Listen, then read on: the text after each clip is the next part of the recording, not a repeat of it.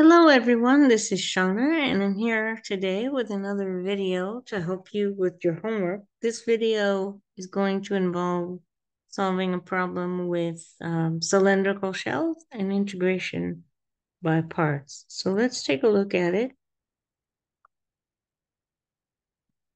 This problem is number 67 from section 7.1. It says use the method of cylindrical shells to find the volume generated by rotating the region bounded by the curves y equals the cosine of pi x over 2, y equals 0, and the line x equals 0 to 1 about the y-axis. So I have a very crude picture up here. This is the y-axis. We're rotating about the y-axis.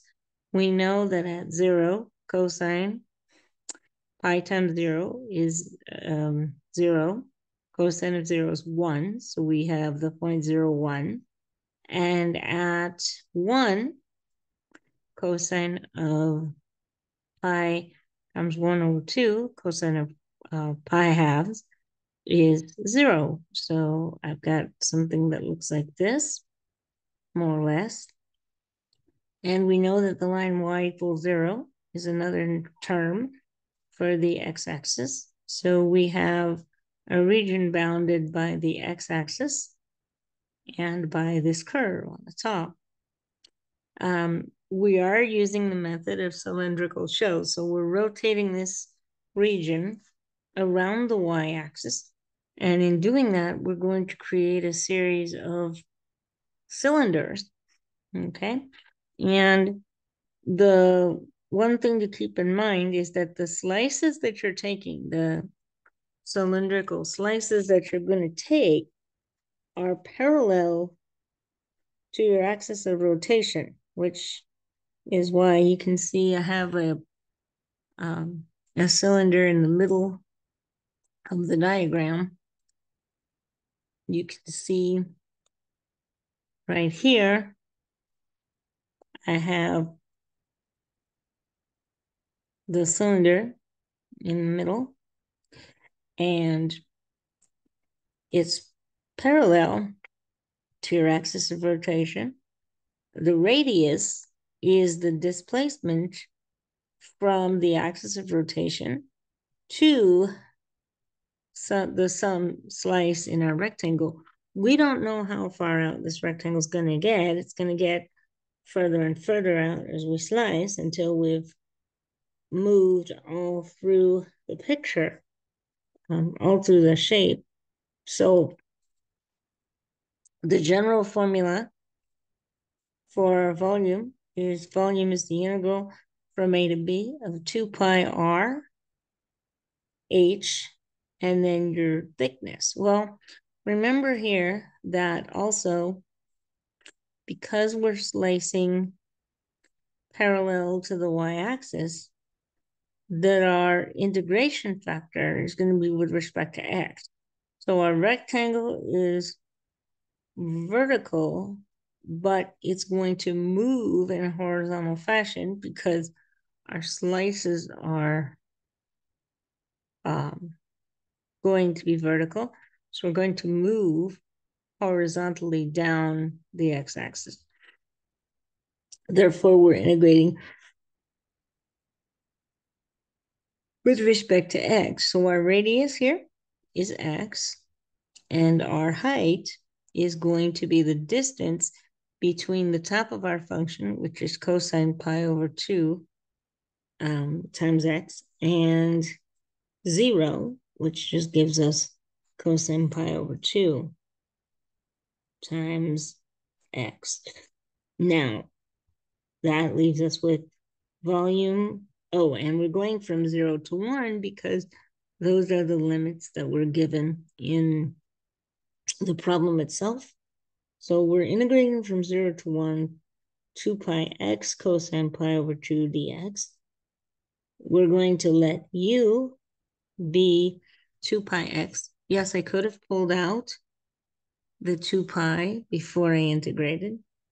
du then is two pi dx dv is the rest of my integrand, cosine pi x over 2 dx. and v is the integral of that.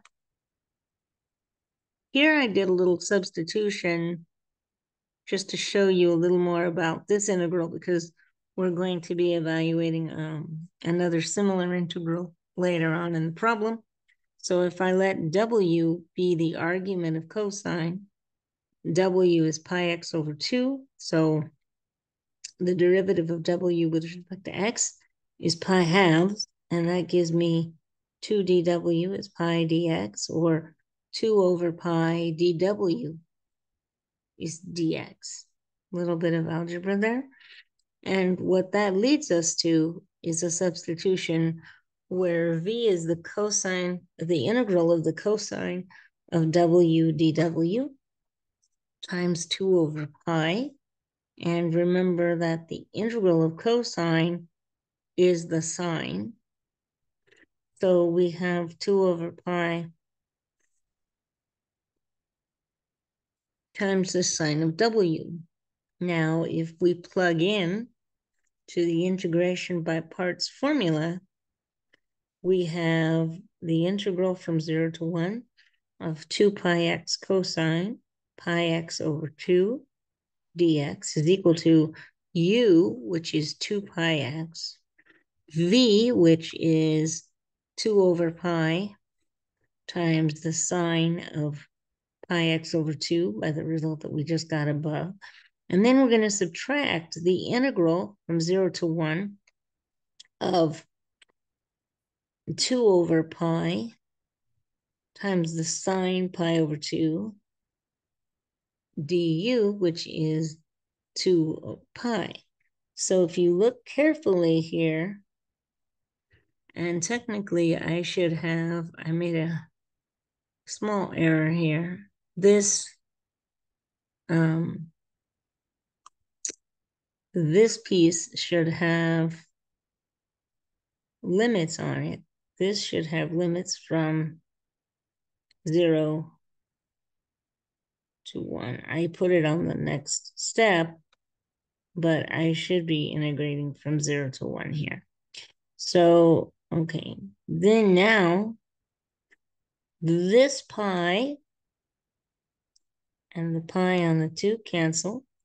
So I end up with negative. When I integrate the sine, I'm going to get the negative cosine. So I have minus 4. Where did the 4 come from? 2 times 2, that's 4. And I have 2 over pi cosine pi.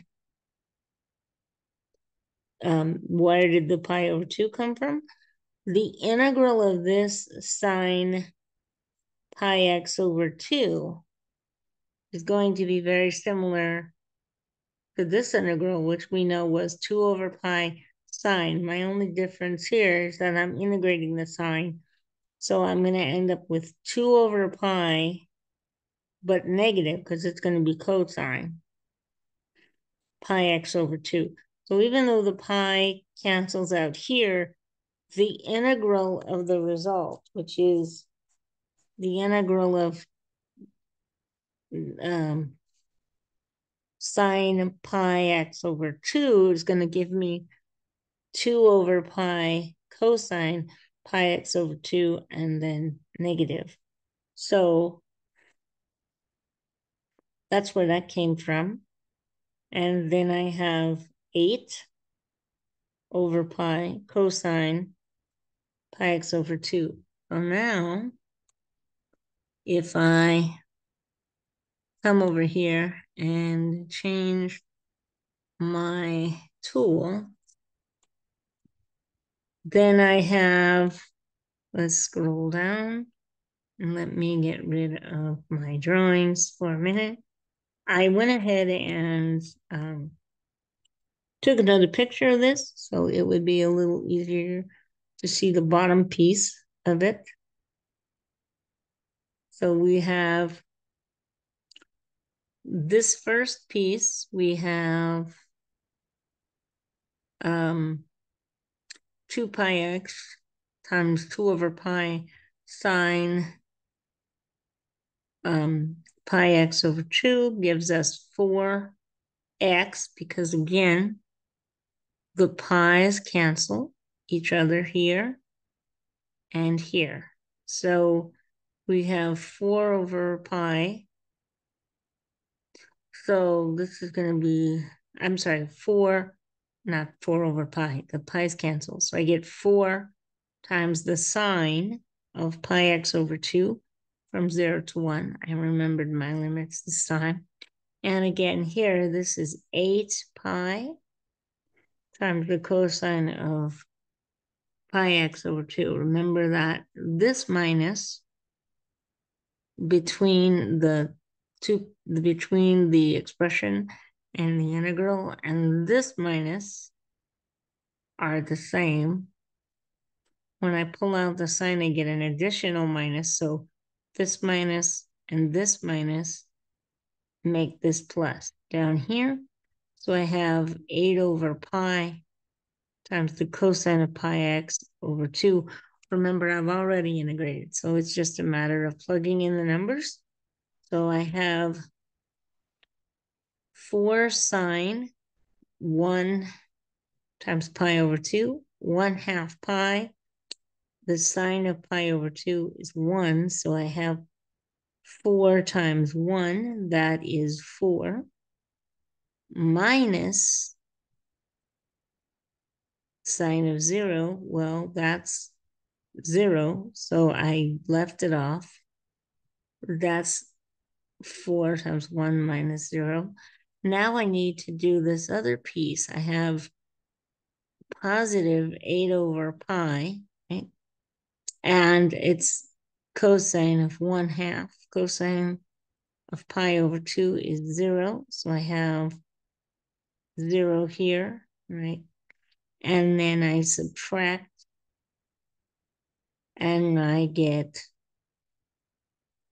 cosine of zero, which is one. So I have minus one and I have eight over pi times 0 minus 1. If I clean that up, that gives me 4 minus, because 0 minus 1 is negative 1, 4 minus 8 over pi. And that final expression is my answer. I hope that this helps you with that little bit of a tricky problem. The setup might have been more tricky for you than the integral. Shells is not something that we do a lot of in Calc 1 and we don't often return to it. So sometimes that's a tricky concept for students, but the the arithmetic for the integral was almost as hard as setting up the integral. In any case, I hope that this has helped you and I will see you in my next video very soon. Thanks folks for watching. Take care and bye for now.